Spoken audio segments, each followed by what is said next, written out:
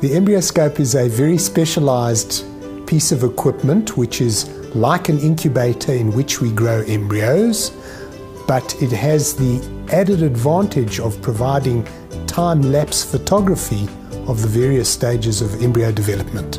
And we are then able to follow these embryos daily without having to remove the petri dish from the incubator, not exposing them to other light, to changes in temperature, to changes in gaseous environment, and on the basis of that we mimic the normal development. We now understand that human embryos need to look a certain way at a very specific time, and if they do not look that way, they are unlikely to be normal.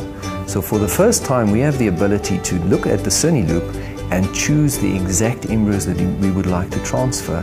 And those embryos should ostensibly be normal because they developed according to an absolute normal timeline. So it is very different to where we take out embryos on a daily basis in our normal previous benchtop incubators.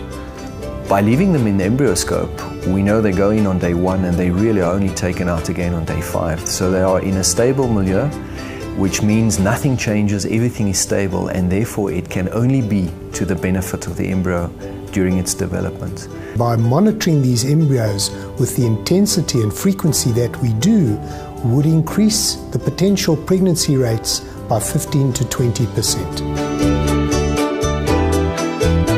For patients who've got lots of embryos, there you can really make a big difference in enabling you to choose the better quality embryos and give the patient the better chance at falling pregnant. I believe now with the knowledge that we have and the early experience that we have with the embryoscopes that no patient's embryos should not be grown in the embryoscope.